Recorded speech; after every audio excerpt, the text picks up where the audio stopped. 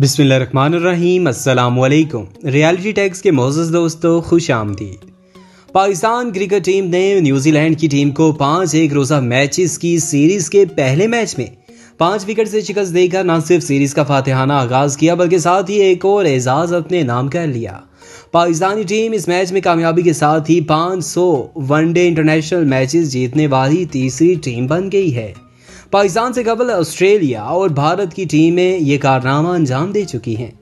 Green shirts को पाँच सोवा match जीतने के लिए 50 साल में नौ मैच मैचेस खेलना पड़े।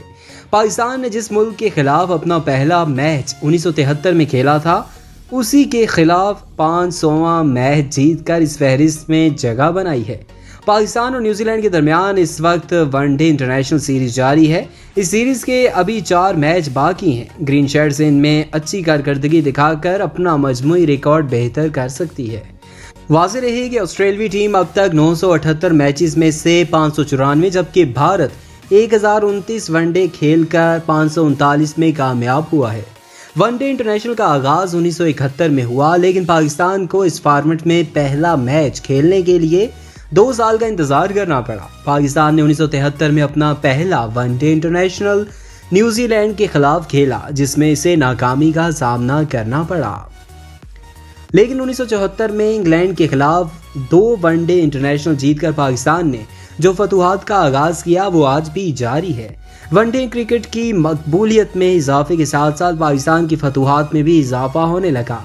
लेकिन पाकिस्तान को अपना सोवा मैच जीतने के लिए 16 साल इंतज़ार करना पड़ा था। ग्रीन शर्ट्स ने नवंबर 1990 में मुल्तान के मुकाम पर जब वेस्ट इंडीज़ को 31 रन से शिकस्त दी तो ये इनकी वनडे इंटरनेशनल क्रिकेट में सौवीं कामयाबी थी।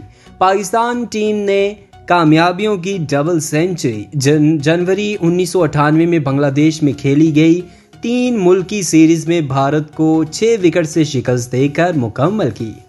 नब्बे की दहाई के आखिर में पाकिस्तान की वनडे टीम को दुनिया की बेहतरीन टीमों में से एक माना जाता था। इसलिए इन्हें अपनी तीन सौवीं कामयाबी के लिए सिर्फ़ पाँच साल का इंतज़ार करना पड़ा। सितंबर 2003 में लाहौर में खेले गए मैच में पाकिस्तान ने बांग्लादेश को 42 रन से हराकर कामयाबियों की ट्रिपल सेंचुरी मुकम्मल की।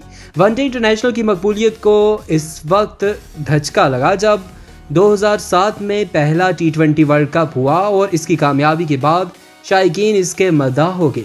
शायद उसी वजह से पाकिस्तान ने वनडे से ज़्यादा टी ट्वेंटी इंटरनेशनल में बेहतर कारकर्दगी दिखाई। साल 2011 में मई के महीने में जब पाकिस्तान ने आयरलैंड के इसकी सरजमीन पर सात विकेट से शिकस्त दी तो ये इसकी चार कामयाबी थी। इसके बाद पाकिस्तान को अपने अगले 100 मैचेस जीतने में 12 साल का अरसा लगा।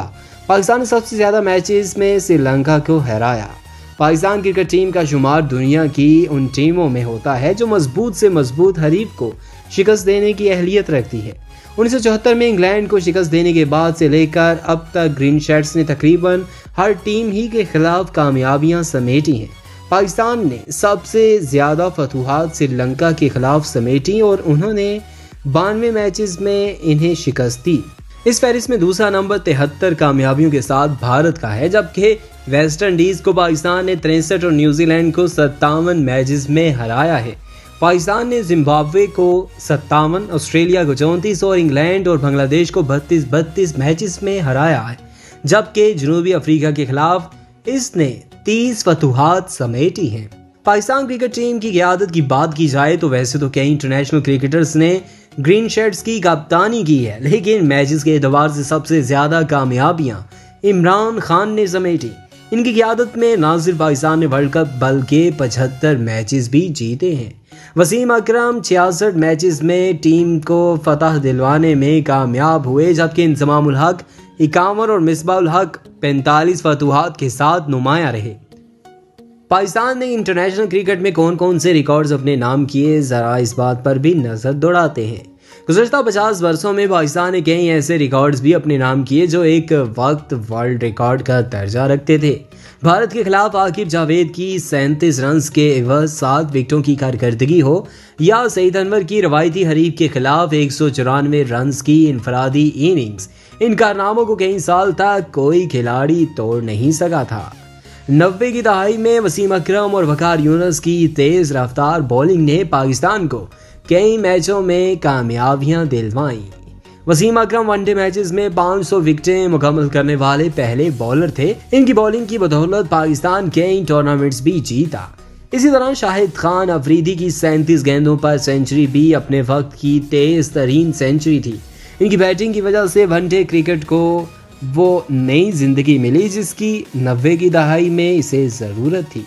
पाकिस्तान की जानब से वनडे क्रिकेट में सबसे ज़्यादा और बड़ा स्कोर एक विकेट के नुकसान पर तीन सौ निन्यानवे रन है, जो जिम्बाब्वे के खिलाफ ग्रीन शर्ट्स ने 2018 में बनाया था। ये वही मैच है जिसमें फ़खर जमान पाकिस्तान की जानब से वनडे इंटरनेशनल की पहली डबल सेंचुरी बनाने में कामयाब हुए थे। इनके नकाबले शिकस्त 210 रन आज भी किसी भी पाकिस्तानी का इस फॉर्मेट में सबसे ज़्यादा स्कोर है। सन उन्नीस सौ बानवे में वर्ल्ड कप जीतने वाली पाकिस्तान की टीम ने उन्नीस सौ तिरानवे में एक इनिंग्स में तैतालीस रन पर आउट होकर एक रिकॉर्ड बनाया था, जिसे बाद में कई टीमों ने तोड़कर इसे इससे महरूम किया। जनूबी अफ्रीका के शहर कैपटाउन में खेले गए इस मैच में पाकिस्तान का मुकाबला वेस्ट इंडीज से था, जिसने सात विकेट से इसमें फतह समेटी थी। पाकिस्तान ने 2016 में आयरलैंड को 255 रन से शिकस्त देकर रन के एतबार से सबसे बड़ी कामयाबी हासिल की, जबकि चार बार बगैर किसी विकेट के नुकसान के 10 विकेट से कामयाबी समेटी। ग्रीन शर्ट्स की जानब से इंजमामुल हक ग्यारह रन के साथ सबसे कामयाब बल्लेबाज हैं, जबकि विकेटों के एतबार से 502 विकेटें लेने वाले वसीम अकरम सर फहरिस्त हैं। सबसे बड़ी इनफरादी इनिंग्स तो फखर जमान ने खेली, लेकिन अब तक कोई भी पाकिस्तानी बल्लेबाज सईद अनवर की सबसे ज़्यादा 20 सेंचुरियों से आगे नहीं जा सका। बाबर आज़म को सईद अनवर का रिकॉर्ड बराबर करने के लिए मजीद तीन सेंचुरियाँ स्कोर करना होंगी। इस वक्त पाकिस्तान की जानब से बेहतरीन इनफरादी बॉलिंग का रिकॉर्ड शाहिद अफरीदी के पास है, जिन्होंने वेस्ट इंडीज़ के खिलाफ 2013 में 9 ओवर्स फेंक कर बारह रन के एवज सात विकेटें हासिल की। इसी तरह दो सौ शिकारों के साथ, मोइन खान पाकिस्तान के सबसे कामयाब विकेट कीपर है, जबकि 130 कैचेस थामने वाले यूनस खान सबसे कामयाब फील्डर हैं। दोस्तों, ये थी हिस्ट्री बेस कुछ बातें क्रिकेट के हवाले से और कुछ रिकॉर्ड्स भी हमने आपके साथ शेयर किए।